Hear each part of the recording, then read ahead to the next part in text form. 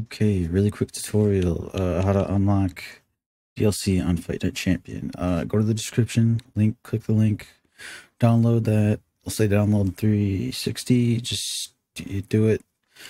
Go to your Fight Night Champion on your Xbox. Go here, click the Fight Night, and then you'll see Legendary Young George Foreman.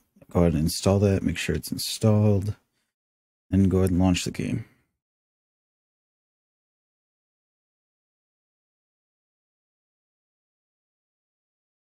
Okay. So then it's going to say press start. Just do everything normally uh, for this time. Can I go ahead and connect to the servers? All right. Go to the Fight Night store.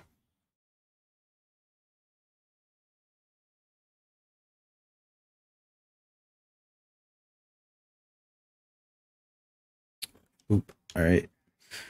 You'll see George Foreman. Yeah, we have that though. Okay. And then you're going to see the Champions Legends pack. It's going to be free. Install that. After you're done with that, close the game. Close the game.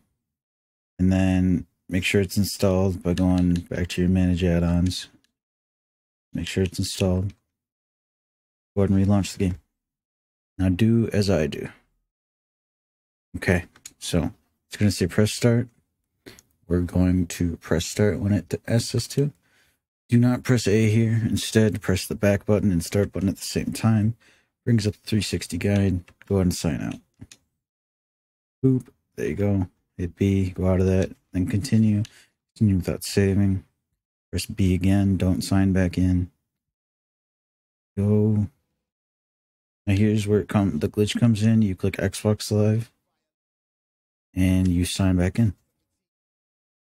And that way you can go ahead and play Bare Knuckle Online or you can back out and you can play it single player. I'll show you.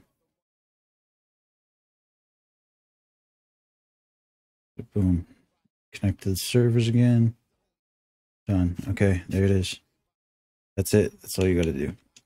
Game modes, bare knuckles mode.